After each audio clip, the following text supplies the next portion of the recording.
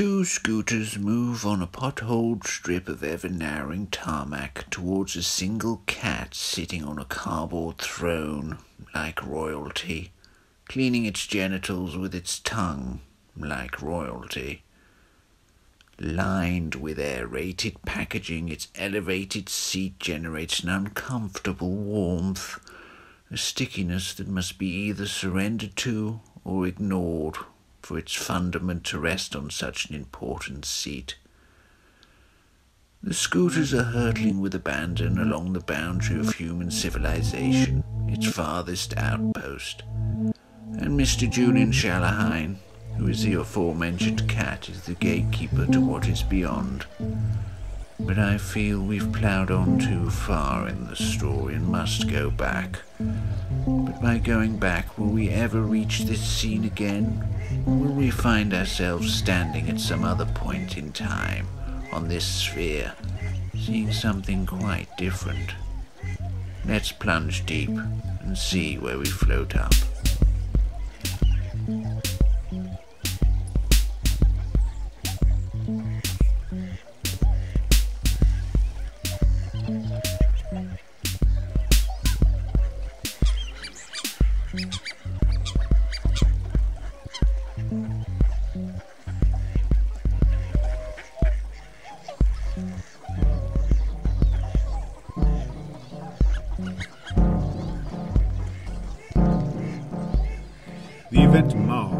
Would have been a most laudable work party. Themed heavenly creatures, 99 of the 100 strong workforce came in goose bumptious slivers of silk and lace, ribbons and fur, feather boas, and not much else.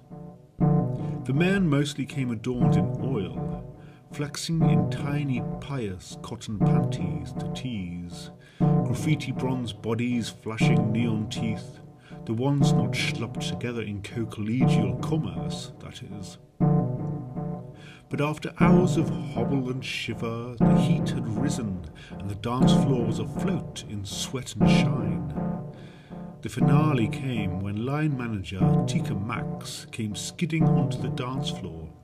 Unused to this soft treading day, he appeared to float across the room, grace incarnate, gliding all the way along to the floor to ceiling windows, kindly held open to let the night in and the darkness out. Tika, the angel of intercommunications, sliding to the limit of the steel trimmed balcony, no grip on the slick shine, and over he goes. Finally, he has his wings toga flapping in the base chill air to final splayed expulsion of life as it was wont to be lived. Hand and heart pierced by picket fence propriety, ever the role played to a T.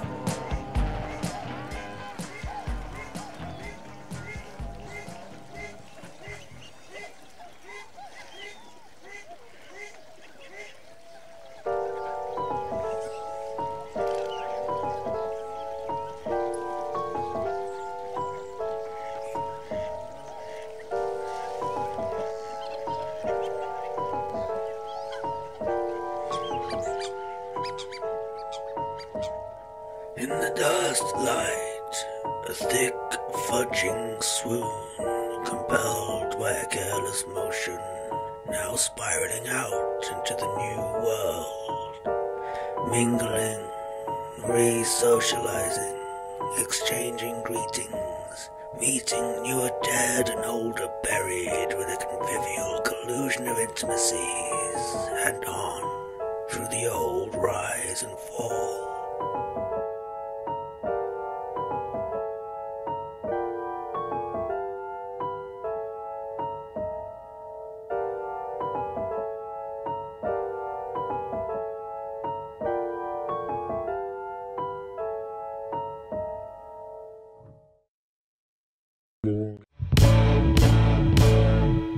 Everything is broken.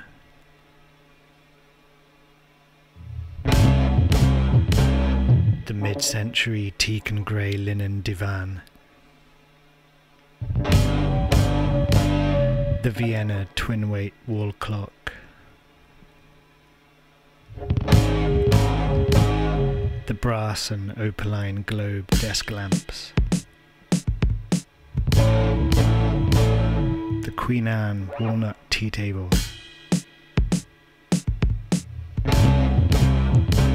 The Chippendale mahogany drop front bureau.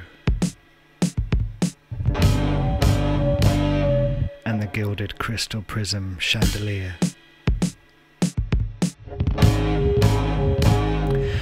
And when I say broken, I don't just mean that the upholstery has torn a little under one of the armrests or that the taper spring on the pendulum has snapped, or that the glass has chipped at the fitting, or the tray top moulding has splintered at one of the joints, or that the back panel has buckled and slipped from its frame, or that some of the crystals have started to sag asymmetrically. No. I mean, everything's been completely broken down into tiny, tiny pieces smashed to smithereens, ground down into fine particles, utterly pulverized. And the cyclonic winds from the hole above whipped these sands into a shallow mound at the center of the room. Everything that was once distinct in function, form, and substance is now a compounded mass of debris.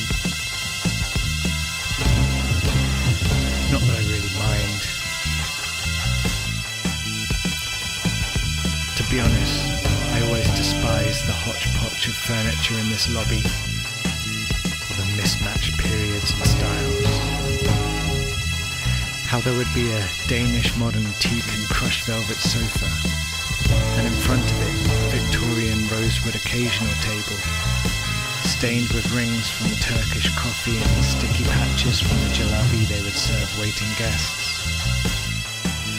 And those austere Edwardian mahogany bookcases stuffed with gaudy pamphlets and brochures detailing local attractions Everything was scattered incongruously about the room even before the strike.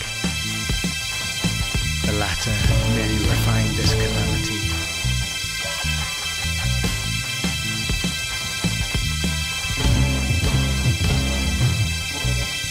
But it's all dust now, and what am I to do but lie here, resigned and supine, flat on my back on this bed of fine debris, rhythmically fanning out my arms and legs and sweeping arcs, making a dust angel.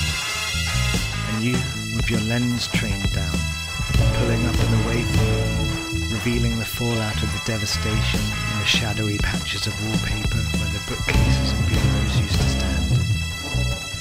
The shrinking form of the dust angel on its glistening dune of atomized antiques up you go through the five-petaled aperture in the lobby ceiling where the chandelier used to hang, into the first floor apartment, rising up still through the cruciform hole in the second, through the three-petaled hole into the third, and through the two-petaled hole, still glowing poppy red at the edges, into the penthouse suite, until finally emerging through the missile's initial entry point, by the stage one blast of the augmenting shaped charge warhead with its enhanced post-entry target fragmentation. And you could continue the missile's path upwards and backwards to the Golden Goose drone that launched the strike. But wait, narrow the focus now and fall back down. Retrace the course that bore through the five floors of the Reuters Hotel ripping that star into the lobby ceiling and pulverizing everything below. I received the tip-off.